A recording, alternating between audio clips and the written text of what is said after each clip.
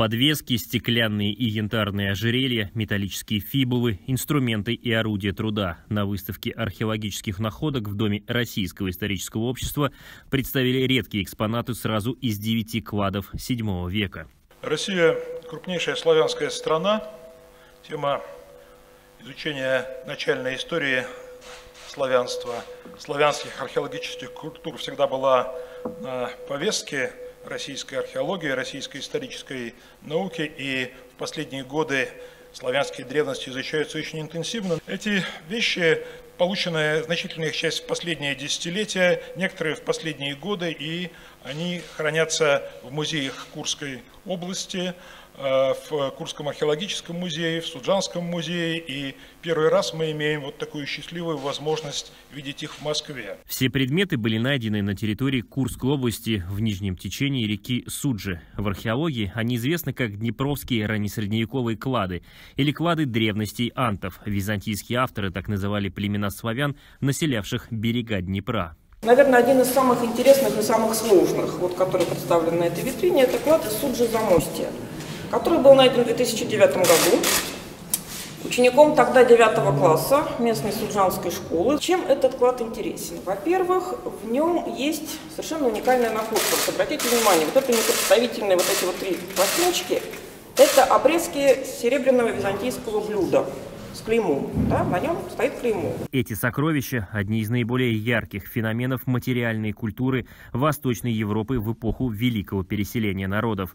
Они известны уже больше 150 лет и долгое время служили фактически единственным источником по истории Поднепровья в третьей четверти первого тысячелетия. На протяжении 20, наверное, последних лет археология российская шагнула настолько далеко вперед, что это, в общем-то, даже трудно себе представить. Мы как-то мало об этом говорим в публичном пространстве, но новые методы археологии и те знания, которые приобретают археологи, они, конечно, несравнимы, скажем так, на единицу э, добытых артефактов, да, по сравнению с тем, что было там 50 лет назад, 100 лет назад, поэтому огромная масса знаний накоплена. На сегодняшний день археологам известно 26 раннесредневековых кладов, найденных в Среднем Поднепровье, на Днепропетровском левобережье и правобережном Подонье. Такая большая концентрация кладов, возможно, указывает на то, что здесь располагался один из центров власти Днепровского союза племен, а выявление таких центров позволяет говорить о зарождении традиции государственности у одной из ветвей восточных славян за 200 лет до образования Руси. Значительная часть вот такого ареала раннего славянства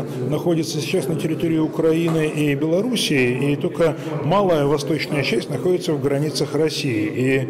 И российским археологам очень интересно и важно нам вести как бы, свои исследования этого общества, его культуры, и э, эти исследования очень продуктивные. Выставка представляет собой продолжение серии проектов Института археологии, осуществленных при поддержке Фонда истории Отечества. Археология остается одним из приоритетных направлений работы Российского исторического общества. В состав Российского исторического общества входит большое количество археологов, специалистов. Среди членов РИО юридические лица, там, музеи, академические институты, которые занимаются археологическими исследованиями и хранят археологические материалы. Среди археологов до сих пор нет единого мнения о цели сокрытия кладов. По одной из версий, ценности были спрятаны в момент опасности. Есть и другая точка зрения. Возможно, клад – это дар или жертва богам. Несмотря на 150-летний период изучения, днепровские раннесредневековые клады продолжают ставить перед исследователями все новые и новые вопросы. Служба информации фонда «История Отечества».